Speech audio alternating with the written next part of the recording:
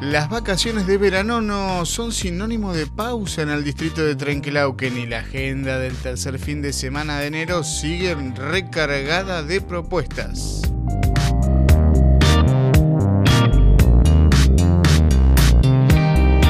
Hoy viernes a las 21 llega una nueva convocatoria para los amantes del tango con una clase gratuita, de 21 a 23 horas en el SIC Barrio Parque, para todo el que quiera animarse a dar los primeros pasos o seguir evolucionando en la práctica de esta tradicional danza rioplatense. Solo hay que asistir en el horario previsto, no es necesario inscribirse previamente ni ir en pareja. A las 21 arranca la gran movida cultural de 30 de agosto, el Culture 30 extendido en el Parque Municipal María la India Roca. En esta oportunidad, a la versión tradicional de tres días, que se desarrollará entre hoy viernes y el domingo, se suma una extensión de los espectáculos durante los domingos 26 de enero y todo febrero, 2, 9, 16 y 23 de febrero. Además, se incorpora el Culture Kids, este domingo con actividades para chicos. Entre los artistas que desfilarán por el escenario están Jaf, Campedrinos, Trío Caminos, Salta 3, Jorge Manarino, Acutunché, Luis Irigoyen, El Guiso de Romina, La Mondongo Project, Si Sale Sale y Los Creadores. También habrá un gran espacio de artesanos y sector gastronómico. En el espacio Inca del Cine Club Barrio Alegre se proyecta el film Lectura según Justino, en la que Arnaldo André debutó como realizador y co-guionista cinematográfico. Se trata de cine de época, de un cuento de iniciación. Es el año 1955 en el pequeño pueblito de San Bernardino, a orillas del lago de Ipacaraí, y el padre de Justino, que trabajaba como sastre, acaba de fallecer. El único hijo varón pasa a ser, según le dice su madre, el hombre de la casa. Gracias a una recomendación ingresa en la selecta escuela alemana, donde tendrá como maestra a Frau Ulia, interpretada por Julieta Cardinali. De modo comprensible, Justino se enamorará de ella y se verá sumergido en una historia de muerte y misterio. Apta mayores de 13 años con reservas, tiene funciones previstas el viernes a las 22 horas.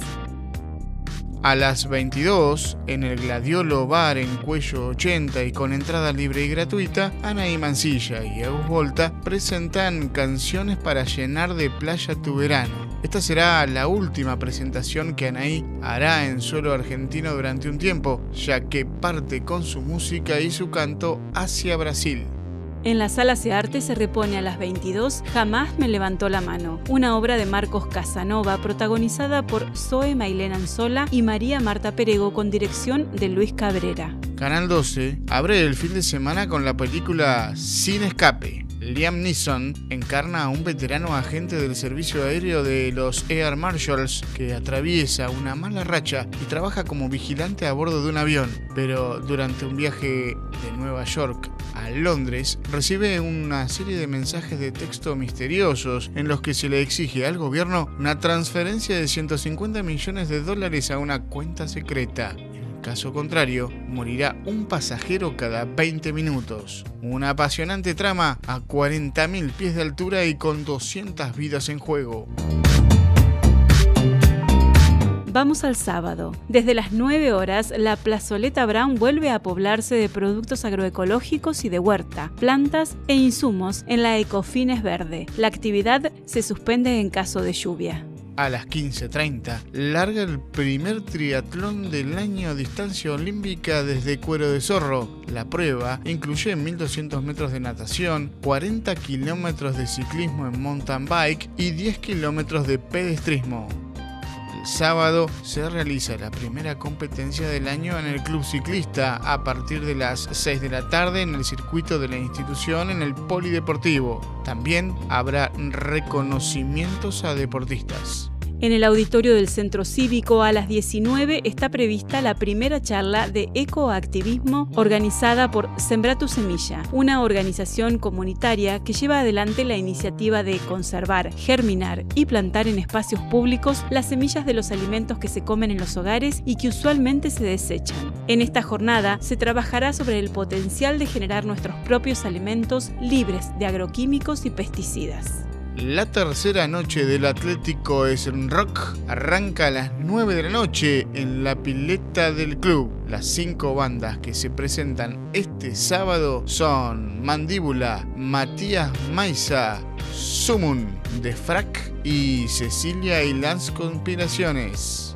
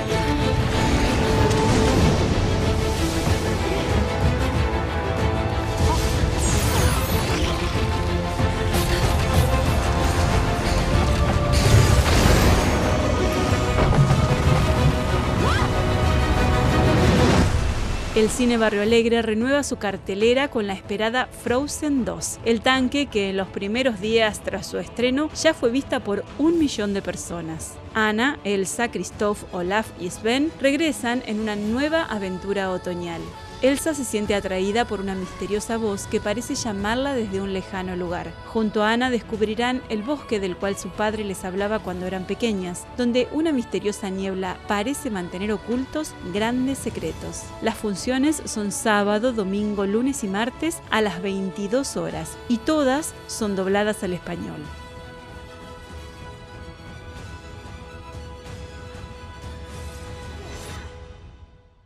Y Canal 12 invita a compartir El fin de los tiempos. Un profesor de ciencias, su esposa y una joven luchan para sobrevivir a una gran crisis apocalíptica. Se trata de un fenómeno sobrenatural que genera comportamientos extraños y suicidios en masa en Estados Unidos. A las 23 está previsto el recital Pablo y Pancho, en vivo en Wimbar.